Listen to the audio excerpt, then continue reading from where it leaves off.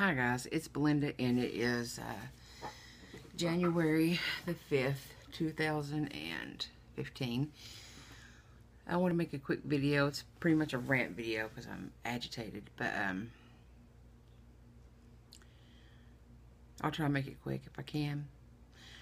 Um, if you seen my Facebook uh, today, you guys knew I was going to uh, Aspen Dental to um, have an impression made. So this tooth right here. And it's been like that for over a year because I have gum disease, so my gums are messed up and won't be getting any better. And one day I'll probably have to have false teeth, upper and bottom. But the dentist said I could try to keep a hold of the teeth I have for maybe five or six more years or so. But I digress anyway. Point being, I went today uh, let's go back. I started this process about four months ago. And um, the deal was I would, the tooth would be $428. My insurance covered it. But half of it would be 215 of it would be cash that I had to pay by a certain date, and the other part would be on what they call an in-house uh, financing through a, a card uh, called Genesis, which I got approved for, no problem. So over the, la uh, the last couple months, I've been paying 10 here, 20 there. You know, I'm a poor person, uh, you know, so I can't just come up with $430, you know, out of my butt. so anyway, um, I went today to do to pay the last bit, pay the last $45 on it and get the impression done. Well, they uh, looked at my card and said that my um, dual complete through United Healthcare, which I'm sure you guys don't know anything about, but um, they were saying that it had been uh, terminated and I no longer had it. Well, Aspen Dental doesn't take anything but dual complete. So obviously I was a little upset. So um, I went out in the parking lot and called my insurance company. And they said that they're not the ones that had anything to do with fixing that. So um, they said I need to call Medi Medicaid because I'm on Medicare and Medicaid through my disability and SSI uh, check that I get every month. Which I'm not sure if some of you guys know that I'm have COPD, COPD and a bunch of breathing problems and apnea and all that good stuff. Um, and bulging discs, just a bunch of different things that would qualify me to be dis disabled. But anyway, they said they couldn't do anything about it, so they had me call Medicaid, and I was on on hold to talk to them for over an hour and 10 minutes. And then when I got a hold of them, they said that they're not the right place, that they sent me to Medicare. So I called Medicare. And they were saying that it was showing that I had it, but it wasn't terminated. I was disenrolled, which there's a big difference between being disenrolled and terminated. And, um, but she said there wasn't nothing I could do. I had to call my plan, which is my insurance. So back to my insurance, second phone call. Um, finally got someone on there who knew what the hell they were doing. It was a what they call a plan supervisor. So she got on there and uh, was telling me um,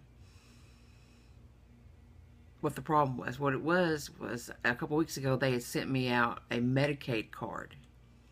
They didn't say dual complete on it. The Medicare is the one that the dual complete is through. So I didn't have that card. And when I come home, I did in the mail. Okay. Uh, by this point, I was extremely frustrated, and I cussed a, a, few of them out because nobody likes to get the runaround, and I was very excited about getting the impression done today because that meant that I could probably have the tooth by the end of the week. And I don't, unless you I don't want to seem ungrateful. I don't want to seem, I don't know. This is very disconcerting and uncomfortable when I'm out in public. And even when I'm making videos, I try not to talk too wide because I don't want to show it because it's embarrassing. I mean, at least it embarrasses me. It makes me feel uncomfortable. This tooth makes me, uh, this missing tooth makes me feel worse than me being heavy set, which I still consider myself heavy set. But that ought to tell you something, because it is what it is, right? But anyway, um, we got it squared away, and I calmed down. By the way, by the time I got to my parents' house and we got it squared out, my blood pressure, my parents took my blood pressure because my face was really red and I was extremely upset. Um, it was uh, 148 over 95. So it mine's never that high. Mine's usually about one, 110, 115 over like 170. So, you know, in a normal range. So it was up. They had pissed me off because, excuse me, I'm about to say my language. I told one of them, I said, why don't you get your head out of your ass and do your fucking job? I said, there's no reason why I've had to be taking care of this for three hours trying to get this straightened out when it's not even my fault. Of course, I apologize later. But anyway, when I got home and saw the card, I called Aspen Dental and um, she said, yeah, she was, I just got off the phone with them and talked to another representative and they told me what the problem was.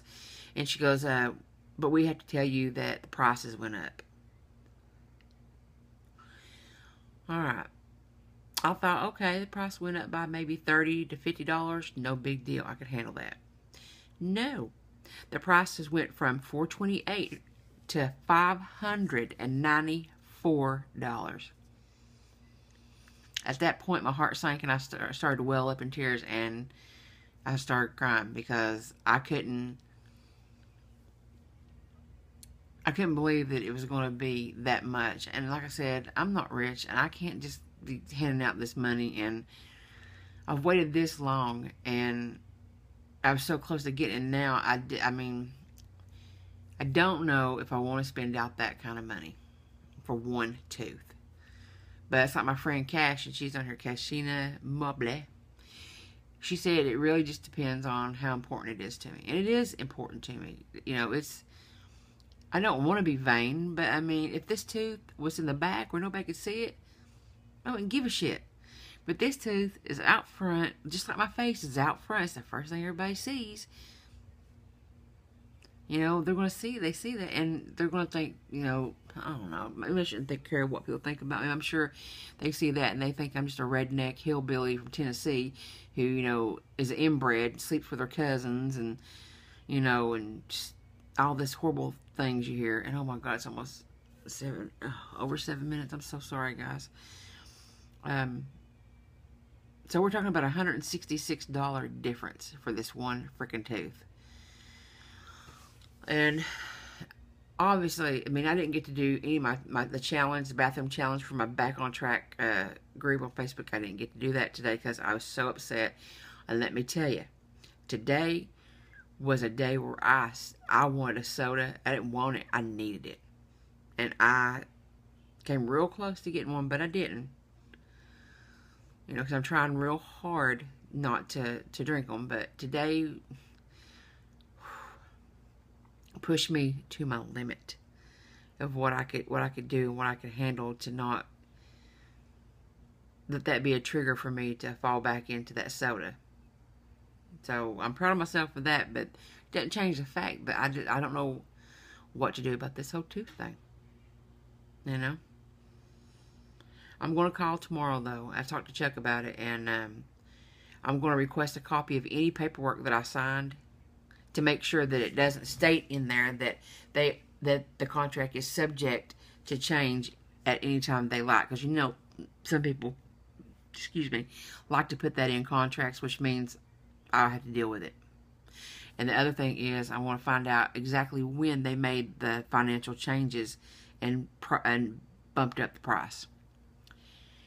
And depending on what they say to me about that, I'm probably going to go somewhere else and see if I I'm, I'm going to do some research see if I can't find somewhere else cheaper, or at least what the price that I was quoted already. And plus, you know, I've already given them 170 dollars. But they told me that if I decide not to go through with it, I have to wait three to four weeks to get that $170 back. That pissed me off too. So I have an appointment with Aspen Dental to go back on the 14th to re-sign up for the Genesis card. See, that's another thing. When I sign up for the Genesis card, I may not be I may not be eligible to get the amount of money that I need on that card to be able to cover the other $300.